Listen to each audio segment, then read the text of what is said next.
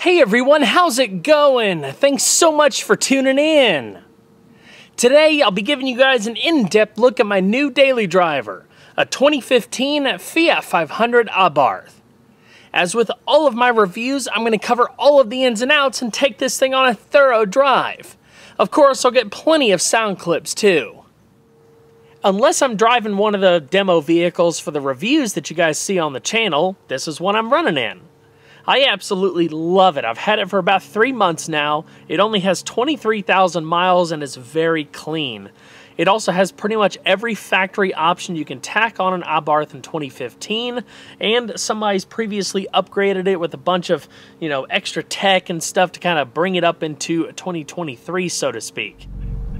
The best way to describe these cars is exhilarating. I've had a bunch of experience with these cars over the years, but my fondest memories by far were back in 2014 when I had the honor to drive in the Gumball 3000. I drove a US spec Abarth from Florida to New York, and when we flew over to Scotland, I drove a 595 50th Anniversario from Scotland through England, France, Spain, and down to Ibiza. It was so cool. And I'm so happy and, and, and feel very fortunate that I get to call this car my own because it brings a smile to my face every time I see it, especially when I start it up because these things are so loud and, and aggressive sounding. I mean, just, oh, it's awesome.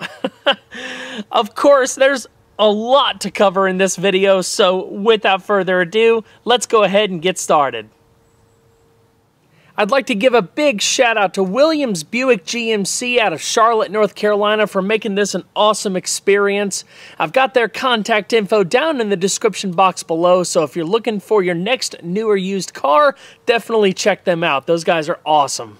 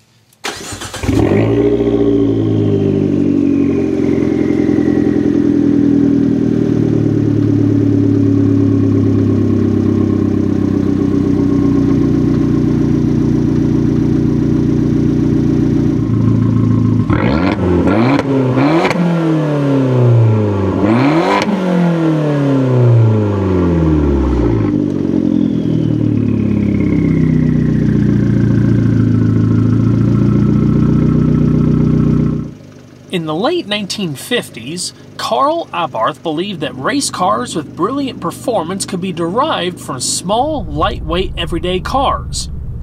Faithful to the small but wicked saying coined for Abarth's early offerings, the Fiat 500 Abarth offers one of the most visceral driving experiences in its segment. Inspired by the racing traditions that made Abarth a success on international racetracks. It was first offered in North America for the 2012 model year, after being sold across Europe since 2007. The Abarth offers performance and precision, purposeful and aggressive styling, and a high power to weight ratio, all at an attainable price. Being fairly limited in production, they're not a very common sight. Unfortunately, at least in North America, the Abarth was discontinued after the 2019 model year, along with the rest of the standard 500 lineup. To this day, these cars offer an incredible value when it comes to fun and practical motoring. Being such a small car, it's not for everyone, but I believe these cars never got the recognition they deserved in our market, especially with how rapid the industry has changed in just the last five years. New affordable sporty cars are nearly extinct. Relative affordability is one thing, but unfortunate dealer markups, at least with some things, have thrown a big wrench into the market. I've been wanting to get into another small car for a while now. After much consideration, I decided the Abarth was exactly what I was looking for. Not only is it fun, but it gets excellent fuel economy and has a surprising amount of interior room. For those not familiar with these cars, the Abarth is significantly different from a standard Fiat 500, cosmetically and mechanically. To improve aerodynamics while creating the necessary space required for the Abarth specific engine, the front fascia is more pronounced and sits 2.7 inches ahead of the 500's signature whiskers and logo face, recalling vintage Abarth styling treatments. The Abarth shield floats on a finned surface that serves as an additional air intake. Below, the spread of intakes offer broader openings than a standard 500. For a more aggressive look, a blacked out fascia accent integrates projector beam fog lamps and helps direct air for engine cooling. Twin nostrils are positioned on the front edges of the fascia to maximize airflow through the intercoolers. More aggressive Abarth designed side skirts provide a vertical and athletic profile, while highlighting the car's iconic curves an assortment of unique Abarth wheels up to 17 inches in diameter fill the flared wheel arches and are designed to provide additional ventilation for the upgraded brake system. Abarth shields can be found on both rear quarter panels, which feature a shot through tricolor arrow. For even more Abarth style, optional body side exterior decals pay homage to the brand's historic models and provide the new rendition with a track ready look. Available in red, black, or white, the signature triple stripe logo runs horizontally across the lower body side and dissipates into a gradient rearward. If equipped, color harmonized exterior mirror caps are included to match the stripes. From the rear, a large liftgate mounted spoiler extends the roofline of the Abarth and improves the vehicle's aerodynamic behavior by creating additional downforce. Below, the two piece Abarth styled rear fascia accentuates the road holding stance and optimizes airflow output with its black accented rear diffuser. In addition, symmetric twin exhaust cutouts deliver a powerful look, with large concentric double tip exhaust finishers. The 2015 Abarth was offered at a starting price of just $22,395. Fiat also offered a Cabrio version that featured a power operated cloth top with a few opening positions that could be utilized depending on how fast you were going. The biggest drawback with the Cabrio is that you lose a lot of the cargo capacity you'd have with the hatchback. This example is equipped with several optional extras, including premium leather trim bucket seats, the Beats audio package, the Comfort Convenience Group, red mirror caps with body side stripes, 16 inch forged wheels, and the Scorpion package by Mopar, which included a chrome Abarth fuel filler door, an Abarth license plate frame, Abarth all weather floor mats, and Abarth valve stem caps. There were four colors offered in 2015. This color is known as Granito Lucente, or Granite Crystal. It was the only metallic option, the total MSRP for this example with destination was $27,420. Something else that I find pretty cool is that this car has an aftermarket sunroof. Made by Webasto, it was a dealer installed option featuring multiple programmable functions and a vented roll up sunshade made from the roof liner. It doesn't take up much headroom inside, which is great, and it brightens up the cabin quite a bit. While it's not everyone's cup of tea, I love it and use it quite frequently. The Abarth came standard with 16 by 6.5 inch cast aluminum wheels that featured a race inspired design and were fitted with 195/45 all season tires that offered great all around grip and low noise characteristics. The standard wheels are finished in gray with painted pockets and a red accented scorpion center cap that covered the lug bolts. The tires on all Abarths were actually inflated to a higher pressure to optimize the suspension tuning. When cold, the tires should be filled to 38 psi. 2015 models were offered with three additional wheel options. These wheels in particular measure the same as the standard wheels, but they're lighter weight forged aluminum. They feature a more intricate spoke design and are finished in hyper black. For an extra degree of handling, you can also opt for 17 by 7 inch forged aluminum wheels, either in gloss white or gloss black. They would have been wrapped in 205-40 three-season performance tires. The Abarth benefits from a higher performance brake system and a specially tuned electronic stability control system designed for at the limit driving. At the front, Abarths feature 2.1 inch diameter single piston front calipers with semi metallic pads for greater stopping power. Larger 11.1 inch diameter internally ventilated front rotors provide additional surface heat dissipation to mitigate brake fade compared to the standard 500's 10.1 inch front discs. The solid rear rotors span 9.4 inches and are clamped down by single piston calipers that also use semi metallic pads. Red painted calipers were standard, with this setup, the car can stop from 60 miles an hour in about 117 feet with excellent pedal feel. Anti-lock brakes with brake assist was standard. The Abarth tuned ESC system features a three mode calibration to maximize the car's handling capabilities on and off the track. When ESC is selected from on to partial off or full off, the Abarth's innovative torque transfer control system maximizes throttle performance during on throttle cornering. The 15.1 to 1 steering gear ratio is 10% quicker than a standard 500 for enhanced responsiveness and maneuverability. It also offers a much better feel that's perfectly fitting for a performance car.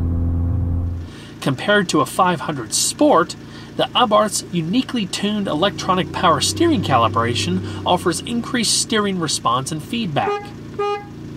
The steering takes just 2.3 turns to go from lock to lock. The turning diameter is 37.6 feet. The Abarth also features an enhanced front and rear suspension design to deliver the precision handling, steering, and refinement needed for high performance driving. Compared with the front suspension design of the 500 Sport, the Abarth has a unique McPherson suspension with a 40% stiffer spring rate and a 0.6 inch lower ride height for improved handling and minimal body roll. Abarth designed cast iron front lower control arms provide improved lateral stiffness, while an increase in negative camber to negative 1.5 degrees delivers improved grip and steering precision dual valve frequency selective damping Koni front shock absorbers replace the 500 standard twin tube units to deliver an innovative 2 in 1 solution. The patented technology provides the road holding and handling characteristics needed for maximum grip and performance. In addition, the FSD system actively filters out high frequency suspension inputs from uneven road surfaces and adjusts for improved comfort and smoothness. The Abarth's beefier rear suspension design takes the 500 Sports twist beam design further, with 40% more torsional rigidity with strengthened coil spring supports for greater durability. An Abarth specific 0.87 inch solid rear stabilizer bar increases cornering grip. For improved handling, minimal body roll, and ride height control when fully loaded, the Abarth's rear springs are 20% stiffer and offer a 0.6 inch drop in ride height to complement the front setup. These cars were designed, developed, and tuned to deliver the responsiveness, control, and precision for high performance driving and enduring capabilities needed for track use. The Abarth is powered by a unique turbocharged variant of Fiat's 1.4 liter multi air four cylinder engine. With the standard manual transmission, it develops 160 horsepower at 5,500 RPM and 170 pound feet of torque between 2,500 and 4,000 RPM. This allows the car to hit 60 miles an hour in as little as 6.8 seconds. Curb weight with the manual transmission is only 2,512 pounds. The top speed is limited to 130 miles per hour. With the optional automatic transmission, power was rated at 157 horsepower and 183 pound-feet of torque. Structurally, the engine starts with a cast iron block and an aluminum bed plate. At the bottom end, a forged steel crankshaft with select fit main bearings is supported across five main journals. The crankshaft has been designed with optimized counterweights to reduce overall mass for high engine RPM operation. Durability is ensured with the use of lightweight forged steel connecting rods that have been designed with a unique cross section to minimize the longitudinal and lateral bending of the rod. Lightweight cast aluminum pistons with hard anodizing contribute to the overall strength of the rotating assembly and the engine's high RPM capability. Full floating piston pins are used for added strength. Piston cooling jets, located at the bottom of each cylinder, contribute to fuel economy by squirting oil on the bottom of the pistons to help maintain piston temperatures and reduce the possibility of hot spots along the cylinder walls or at the top of the piston that could lead to detonation. This engine is also fitted with a structural aluminum oil pan. Crankcase capacity is 4 quarts with a dry filter. Synthetic 5W40 oil is recommended due to the higher overall temperatures of the turbocharger. To maintain a lower ownership cost, Abarth recommended oil changes are set at 8,000 miles. The valve train features Fiat's multi air fuel delivery technology. Unlike engines that rely on direct action from fixed lobes in the camshaft to control intake valve opening and closing, Multi Air is an electro hydraulic system that can control intake air cylinder by cylinder and stroke by stroke, depending on the demands from the standard electronic throttle control system. Actual opening of the valves is achieved by hydraulic fluid running through a narrow passage that's controlled by a dual action solenoid one for each cylinder. When the solenoid is closed under highway speeds or full acceleration, the intake valves are fully opened, much like a traditional engine for maximum power. At lower speeds, the solenoids open, allowing oil to bypass the passage and decouple the valves. This allows for infinite control of the valves and the amount of air going into the cylinders. Ignition is through a single output coil on plug system with double platinum spark plugs for durability. Fuel delivery comes from a sequential multi port electronic system. The compression ratio for this engine is 9.8 to 1. Maximum boost pressure is set at 18 psi, while maximum engine speed is limited to 6,500 RPM. The turbo's induction system includes two intercoolers located behind the driver and passenger side air inlets of the front fascia. The intercoolers work to remove heat in the air charge that the turbocharger generates while compressing incoming air. Reducing that heat provides a cooler, denser air charge that helps increase power. The Abarth also benefits from several engine system component upgrades. On the intake side, the engine features an Abarth designed fresh air intake system with a high flow air filter, redesigned airbox for improved airflow, and smooth flowing plumbing for maximum power and low induction noise. The Abarth designed concentric and double tip dual exhaust system delivers a high performance look with menacing Abarth tuned sound and minimal exhaust gas restriction for maximum power. These cars sound absolutely awesome. The Abarth tuned powertrain control module provides specific engine calibrations to maximize power when sport mode is activated via the button on the dashboard. Sport mode also enhances throttle linearity and gives the steering a more weighted feel. When sport mode is not engaged, the Abarth limits the torque in first and second gears to enhance fuel economy. An upgraded electrical system includes a high output 140 amp alternator and an upgraded battery for increased vehicle system charging.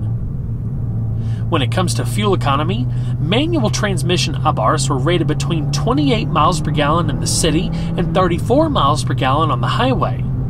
In mixed driving, I typically average between 31 and 32 miles per gallon. For optimum fuel economy and performance, fuel with a 91 octane rating is preferred, while regular 87 octane is acceptable. Developed by Fiat Powertrain Technologies for high output applications, the Abarth is equipped as standard with a heavy duty 5 speed manual transmission. Proven on prior European 500 Abarth models, this transmission features a 3.35 final drive ratio for quick acceleration of faster top speed without sacrificing fuel economy. Designed to handle the increased torque loads, the transmission includes an intermediate shaft with equal length half shafts to mitigate torque steer. Compared with the standard 500, the Abarth features 23% larger half shafts for increased strength and to reduce torsional stress in the driveline during performance driving on the road or track. To handle the increased engine output, larger CV joints with 53% greater torsional strength deliver added durability and refinement. Helping the driver utilize the engine's power to its fullest is the Abarth tuned torque transfer control system. It's a differential locking system that utilizes the mechanical differential as a reactive element in the transmission to control torque via the brake system and electronic stability program. This enables the Abarth to transfer torque to whichever wheel has more traction. For 2015, a 6 speed automatic transmission was introduced as an option to help broaden the Abarth's customer base. The transmission featured a reinforced design with more clutch plates and a more robust heat treatment to allow for higher torque capability. Sport mode also allowed for some additional special features such as fuel cut upshifts, rev matching downshifts, brake assist downshifts, corner gear hold, and fast off gear hold, as well as a more aggressive pedal map.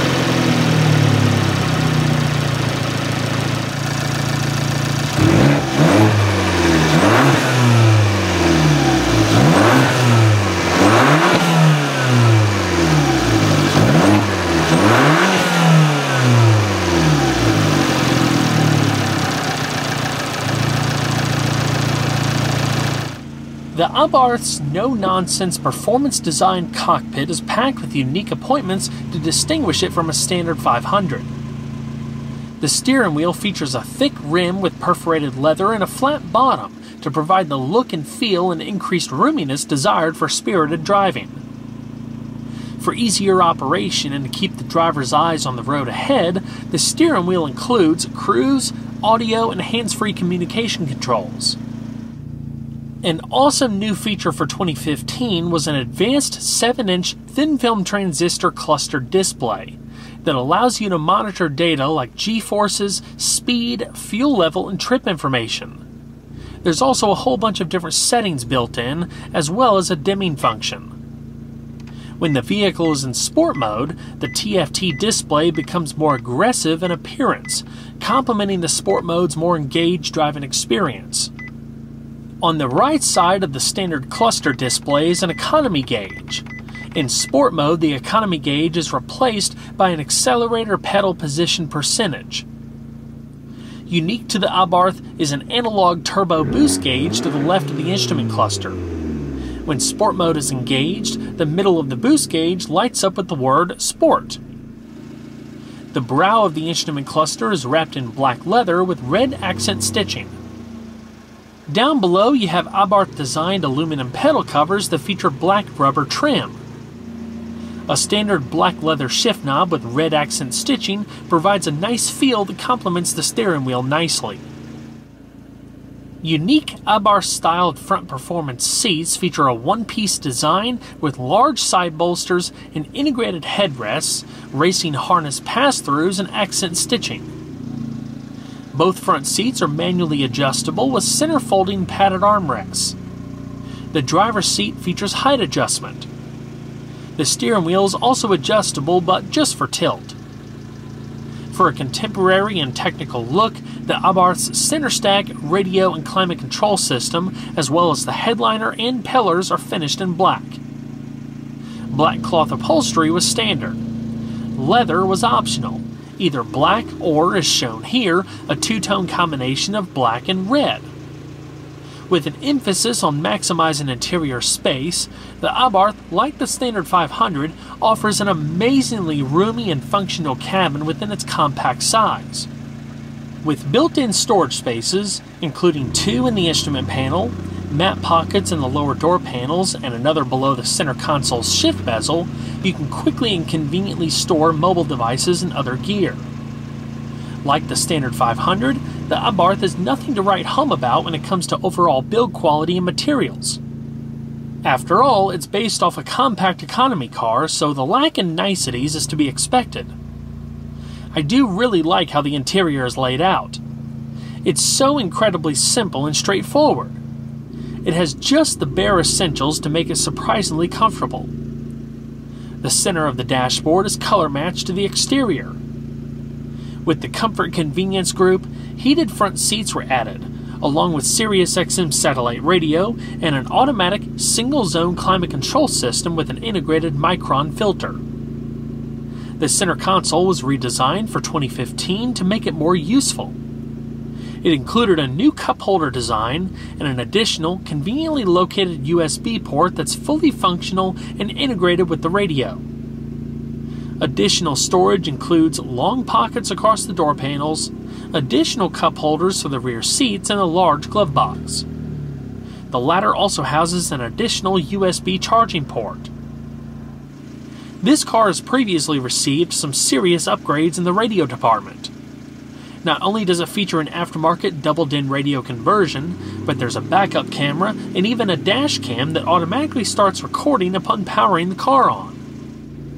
The double DIN conversion involves significant modifications to the internal dash structure, including cutting and redirecting the flow of air to the vents. The kit comes with all of the parts, you just have to do all of the cutting. While it may not have been something I would have done, I am thrilled with how nice of a setup it is, especially with having wireless Apple CarPlay. All of the factory controls and the steering wheel work too, which is awesome. The Beats audio package was a $700 option in 2015 and was a very nice upgrade over the standard stereo. The Beats system includes six speakers, an 8 inch dual voice coil subwoofer with trunk mounted enclosure, and an 8 channel 368 watt amplifier with digital sound processing. In addition to Bluetooth audio streaming, Abarths came standard with Blue and Me hands free communication technology which is an in vehicle voice activated communication system that allows the driver to operate a Bluetooth compatible smartphone while keeping their hands on the wheel and eyes on the road. A navigation system was also offered as an option, but it was a portable system. If equipped, you'd get a 4.3 inch TomTom portable navigation device that would dock on top of the instrument panel. It would also integrate with the Blue and Me system so you can use the steering wheel mounted controls to make operation easier. The Fiat 500, including Abarth models, feature a comprehensive airbag system to offer unique protection for its passengers to meet all U.S. regulatory requirements. The seven standard airbags include driver and front passenger advanced multi stage airbags, a driver's knee airbag, full length side curtain airbags, and standard seat mounted side pelvic thorax airbags, all of which offer enhanced protection to all occupants in the event of a collision. Standard latch anchors in the rear seat allow for easy installation of compatible child seats. The rear seat in these cars was claimed to be able to sit two adults, but I think that's being a bit too generous. Yes, you can sit someone of my size in the back, but they are not going to be comfortable. It's just a small space no matter how which way you slice it. I'm 5 foot 10 inches and I don't have any extra room left over. My head touches the ceiling and my legs will not fit unless the front seats are slid forward. Thankfully, there is plenty of room for front passengers if additional adjustments are needed. The back seat is definitely usable, it just depends on who's sitting back there. There's vertically adjusting headrests on each backrest. While not in use, they can be lowered for better rearward visibility. Overhead, there's coat hooks on either side of the roof. Each side panel integrates molded in armrests. Latch child seat anchor points can be found on both sides of the rear seat. Climbing into the rear seat is made easier thanks to the auto sliding function of the front seats. By pulling on the straps on the outside of the headrests, the backrests will tip forward and the seats can be pushed all the way forward. Additional amenities include seatback storage pockets and two cup holders in the rear of the center console. For such a small car, the Abarth is really quite practical, especially the hatchback. The liftgate is lightweight and assisted by gas struts. The liftover height is 27.2 inches, and there's 9.5 cubic feet of cargo space behind the rear seat. If you have the Beats audio group, space is reduced by 0.6 cubic feet due to the subwoofer enclosure. The black cover at the bottom on the right side panel is for the radio amplifier. A small removable privacy cover is included to keep prying eyes off your cargo. With the 50-50 split folding rear seat, you can significantly increase the total cargo space to as much as 26.8 cubic feet. A light on the left side makes it easier to see at night. With the Cabrio, you have a similar amount of total cargo space, reduced by a few cubic feet or so, but the space behind the rear seat is reduced by half. You also don't have the ability to store larger and taller items due to the design of the soft top. For a daily driver, the hatchback is the way to go as it's so much more practical. Due to the car's compact size, there is no spare tire. However, a tire repair kit was included as standard equipment. Well, everyone, that's going to wrap it up for this video. I hope you all enjoyed. Please don't forget to leave a like down below because it really helps the videos a lot. And if you haven't subscribed already, consider doing that too. And make sure you turn your notifications on so you don't miss out on the upcoming content. I'll see you guys on the next one. Take care.